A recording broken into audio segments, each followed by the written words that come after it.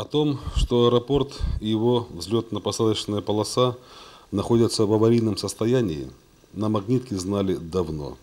Воздушные ворота, вторые по величине после Челябинска, в последнее время стали крохотной калиткой, куда могли залетать только малые воздушные суда. Реконструкцию необходимо было начинать давно, и даже не пять лет назад, а гораздо раньше. Наверное, с началом перестройки политической системы, при которой человеческая жизнь в грош не ставилась. Но начали только сейчас, когда появились первые признаки экономической стабильности, поднакачали мускулы, накопили сил и средств. Эти кадры были сняты весной нынешнего года во время визита в город Металлургов губернатора Челябинской области Вадима Соловьева. Это очень знаменательно, что первые же минуты и часы своего пребывания на магнитке Вадим Павлович посвятил проблеме реконструкции полосы. В разборе полетов принимали участие глава администрации Магнитогорска Виктор Аникушин, генеральный директор АО ММК Анатолий Стариков, руководство Магнит Инвестстроя и промышленно-строительных предприятий города. Обновление полосы было доверено югославской фирме Union Engineering, представители которой на ваших экранах уже в деле. Если танцевать от печки, то мы начнем с того места, где взлетно-посадочную полосу решено было строить заново, то есть удлинять на несколько сотен метров. Сейчас работаем по графику сюда. Укатываем первый слой тампона на этом участку пикет 24 до 26. А период, который видите дальше, снимаем чернозем и подготовим грунт за опять за ПГС, это слой гравия, который укладывается 15 сантиметров толщины. Это траншея, это дренаж, а за эту траншею находится дождевая канализация. То есть, а как где будет сигнализация, эти все приборы, провода, кабели? Канализация, канализ... Кабели идут рядом, они, они сзади идут, а канализация за каждый участок есть свой отход. За несколько дней до начала работ здесь, в Магнитогорске, югославские специалисты сдали полосу в Кемерово. Переброс техники еще с кемеровскими реквизитами занял несколько суток.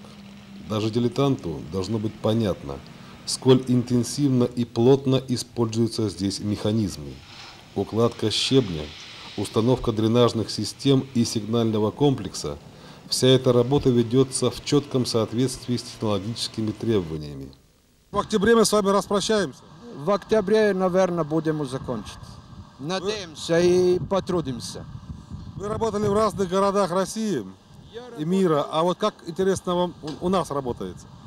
Ну, э, разница небольшая. Я был в Кемеровской области, работал в Кемерове, в Новокузнецке, и сейчас на этот год здесь. Люди везде хорошие, хотят э, все помочь. Здесь э, администрация, с которым сотрудничаем, она очень трудится и помогла нам много.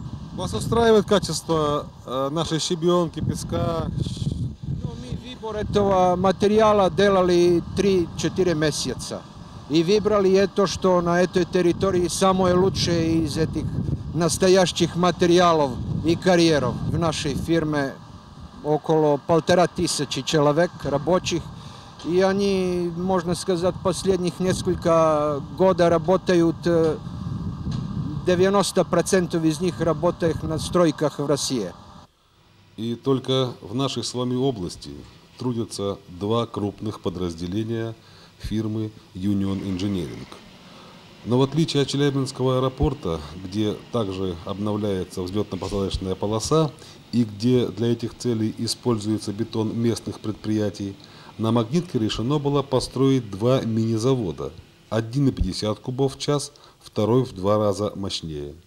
Сейчас они оба в работе – и первые кубы бетона легли в основании полосы ровно в 8 утра в понедельник 5 августа.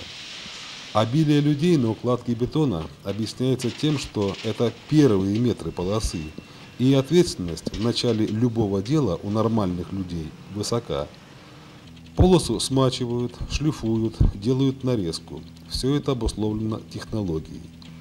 По обеим сторонам уже выложенного бетоном участка Также пойдут бетоноукладчики. По 4 от центральной оси, а всего 8. Темпы, с которыми трудятся югославы, заказчика, а им является официально Магнитинвестстрой, могут устроить только в том случае, если в эти дни работы будут резко интенсифицированы, иначе возможно отставание от графика. Кстати, наемные рабочие, жители Магнитки, здесь зарабатывают по 4400 рублей в час. В выходные дни тариф двойной. Югославы зарабатывают намного меньше, но у них суточные по 25 долларов в день. Что, кстати, для среднеевропейского рабочего является суммой, прямо скажем, мизерной. По накалу эта стройка мне напомнила знаменитые НМК реконструкции коксовых батарей 7 и 8 БИС. Это было в конце 70-х годов. Люди более старшего поколения могли бы провести аналогии со стройками первых пятилеток. Уже одно то, что мы способны на работу с такой степенью интенсивности, радует.